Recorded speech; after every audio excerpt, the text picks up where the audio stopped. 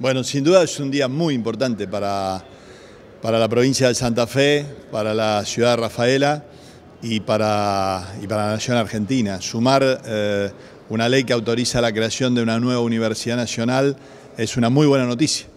Hemos trabajado estos tres años muy duro con la intención de generar con sede en Rafaela una universidad nacional, la tercera en la provincia de Santa Fe porque entendíamos que había una necesidad en toda esa región del oeste, norte santafesino, este cordobés, sur de Santiago del Estero, que tenía que tener una oferta pública de una universidad nacional gratuita y con la posibilidad cierta de que muchos jóvenes puedan eh, seguir carreras universitarias, que puedan mejorar eh, su formación.